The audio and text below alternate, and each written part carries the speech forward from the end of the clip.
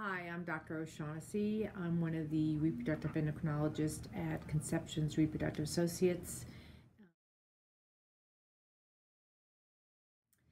So when a couple comes in, we actually do a workup that involves both of them.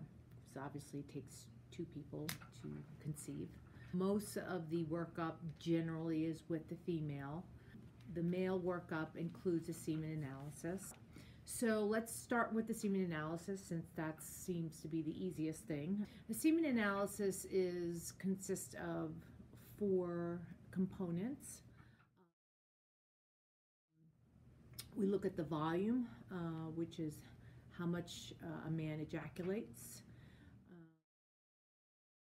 Uh, we look at the concentration, which is the number of sperm per milliliter of the ejaculate, and that's generally cons considered the sperm count. And then we look at the motility of the sperm. So that's the percentage of sperm that are actually moving. Um, and it's not just the percentage of movement, we also want to know the progression of the sperm. So that means how quickly the sperm are moving. Are they moving in a straight linear fashion? Uh, which is also very important.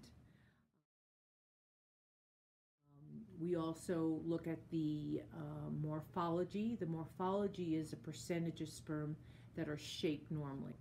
What we're looking at is the head of the sperm, the neck of the sperm, and the tail. Um, and all those should be shaped uh, a certain way in order for them to be considered normal. Um, most sperm actually are shaped abnormally. So uh, surprisingly, only uh, our lower limit of normal is 4%. And so we, and so we want 4% or higher uh, for our normal morphology. For sperm count or the concentration, we want to see a concentration of 15 million per milliliter and motility at least 40% of the sperm should be moving. So that's a, a, semen analysis. If the semen analysis is abnormal, we will probably repeat the semen analysis. And if again it is abnormal, uh, then we will refer the patient, the male, uh, to a urologist, a specialist, uh, for further workup.